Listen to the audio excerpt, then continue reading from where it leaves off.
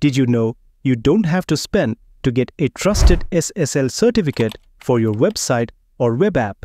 In this video, I'll show you exactly how you can get a 100% free SSL certificate, one that's fully trusted by all major browsers. We'll then move on to configure this free SSL certificate step by step on a Windows server.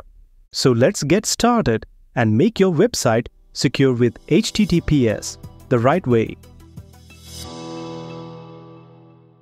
I've already hosted this page on a Windows server, but right now it's only using HTTP.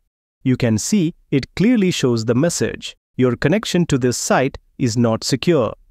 If you're not sure how to host your .NET application in IIS, don't worry.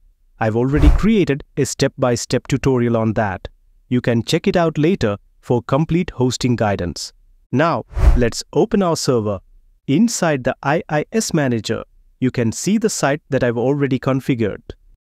First, let's grab the tool that'll make this entire process super easy. It's called WinACME. Let's go ahead and download the latest version from their official site. Once the download is complete, extract the files to a folder. I'll now move the extracted folder to the C drive, just to keep things simple and easy to access later. Now, by opening this tool, we can easily create an SSL certificate from Let's Encrypt. To begin, type N to create a new certificate. It will now list all the applications currently configured in IIS. Next, let's enter the ID associated with our application. Then, type A to pick up all the bindings. Once that's done, press Y to continue with the selection. You'll be asked again to press Y if you'd like to view the terms of service. Feel free to read through it if you wish. Let's agree to the terms and then provide an email address for notifications and certificate updates. Now, just wait for the certificate creation process to complete. And that's it. The process is done. If we open the bindings in IIS now, you can see that HTTPS has been configured automatically. The newly created certificate is already assigned to the binding. Now, let's try opening the HTTPS URL from my PC. And that's it. Our site is now running securely on HTTPS. Here, you can also view the certificate details to confirm it's active and valid. But wait, there's one more thing. This certificate will expire after 3 months. Don't worry though, it will be renewed automatically. And I'll show you exactly how that works in just a moment. Before we move on, I need to discuss something important. Sometimes especially if your site is accessed from older Android devices, outdated browsers, or certain embedded systems, the Let's Encrypt certificate may not be fully trusted. In that case, I personally recommend using Zero SSL. ZeroSSL is also free, fully compatible with WinACME, and it uses a different certificate chain that's better trusted by older devices.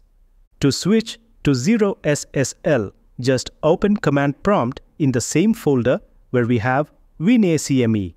Along with the WACS executable file, we'll provide the base URI for ZeroSSL.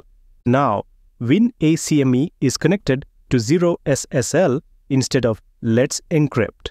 There are a few small differences in the process. Let me show you how it works. First, type N to create a new certificate. Then, Enter the site ID associated with your application. Next, let's pick all the bindings. You'll again see the terms of service. Read it if you'd like. After agreeing to the terms, it will ask for a key identifier. You'll need to create a ZeroSSL account to obtain this. I already have an account, but let me quickly show you the sign up page. Just enter your email, password, and country to create one. Once you log in, you'll see a dashboard showing all the certificates you've issued. Now, let's go to the Developer section. Scroll down to find an option called EAB Credentials for ACME clients. Click Generate, then copy and paste the key identifier and key back into the tool. Now, the certificate is being created. Once the process completes, let's try reopening the site from my PC. And there you go. The certificate associated with the site has been successfully changed to the new ZeroSSL certificate. As we noticed earlier, the certificate validity is only for 3 months. So now, let me show you how the auto-renewal process works. If we open the task scheduler on the server, you'll see two different scheduled tasks running on a daily basis.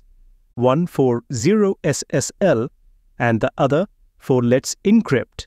These tasks are automatically created, so we don't have to configure anything manually.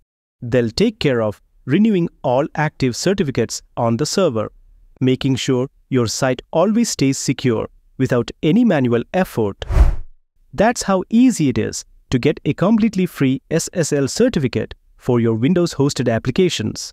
I've also prepared a PDF guide with all the commands, steps, and the zero SSL base URI, so you don't have to re-watch the video again and again.